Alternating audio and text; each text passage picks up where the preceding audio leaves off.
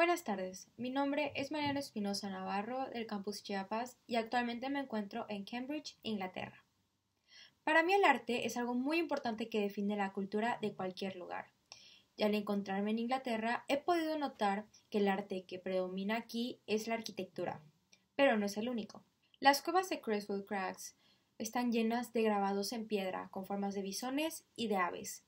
Esta es la única obra de este tipo prehistórica que se ha encontrado en toda Inglaterra.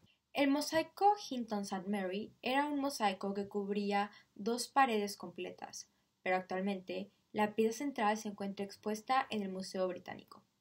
Se cree que perteneció a una villa romana de la época. El díptico de Wilton consiste en dos paneles de madera, sobre los cuales de un lado está pintado el rey Ricardo II y del otro está la Virgen María con el niño Jesús en brazos. Nunca se puede identificar al autor, ya que no existe ningún trabajo parecido a este. The Mudbat de David Bomberg es una pintura de óleo que con líneas abstractas intenta representar figuras humanas.